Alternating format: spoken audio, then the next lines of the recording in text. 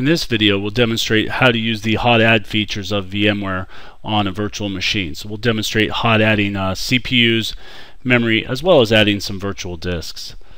So if we look over here, we've got two virtual machines running, demo virtual machine, which is a Windows 2008 R2 box, Data Center Edition, and a Windows 2003 Standard Edition virtual machine.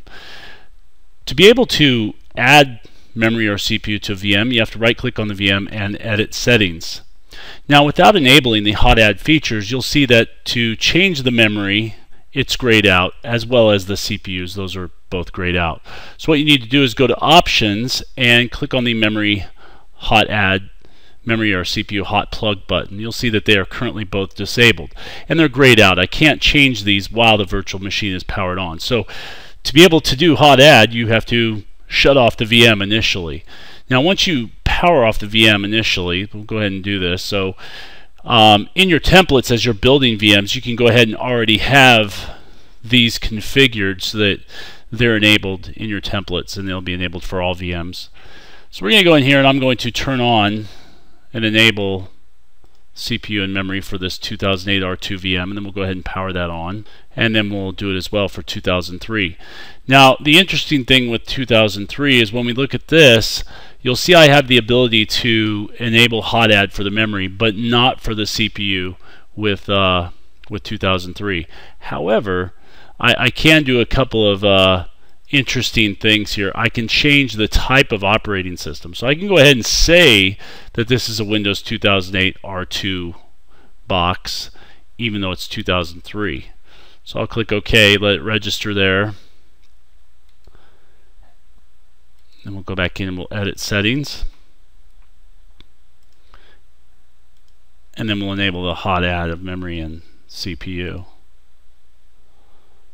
Wait for that and then we'll we'll power it on. And you'll say that even though we enabled that, it's still booting up and you'll see it's Windows 2003 so that's coming up we'll give that a, a little bit of time to come up and then we'll, we'll look at a couple of different things here um, first thing I'm going to look at let's go to Windows 2008 open the console here. We'll just start Windows normally. And you got that because I did a power off versus a shutdown. Okay so now that this guy's rebooted we'll go ahead and log on here. Alright, so first thing we're to do is we're to open up Task Manager on this particular VM. Alright, you'll see this currently has 2 megs of memory and one virtual CPU. So we'll go to VM and we'll click on Edit Settings. And we can bump the memory to let's say 4 gigs of RAM and the CPU to 2 CPUs. Now what's interesting is what we'll see in Task Manager here in a second. If you look behind here, you'll see it just got done reconfiguring the virtual machine. And over here, you'll see the number of installed processors has changed. We need to either restart or close Task Manager. So we'll restart it, and you'll see now it shows both CPUs and the memory is listed as 4 gigs. So very simple to do that. Let's look at this in 2003 uh, because it is kind of interesting what we get here. Same process, we'll go through here. Let's open up Task Manager, go to Performance. You'll see this guy currently has two CPUs and uh, 4 gigs of memory, so we'll make it a little bit bigger. So edit settings, we'll bump it up to uh, 6 and we'll give it 3 sockets.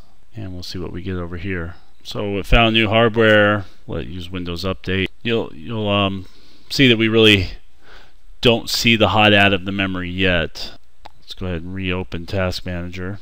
Still showing 4 gigs. You'll see the wizards timing out here. So you'll see it, it wasn't able to install the new hardware on here. Uh, what we would need to do is just do a regular reboot on this virtual machine. So let's go ahead and do that. You'll see we now show up as three CPUs and six gigs of memory. So it wouldn't allow us to hot add the CPUs. If we changed it back to 2003 where it should have been, it would have allowed us to do the memory. Um, but it's not real destructive. I have seen it do some blue screens in the past, so I wouldn't recommend it uh, for machines that don't support it. Um, Windows 2008 and higher and Data Center Edition are the only ones that actually support um, hot add of CPU. Memory has quite a few more OSs.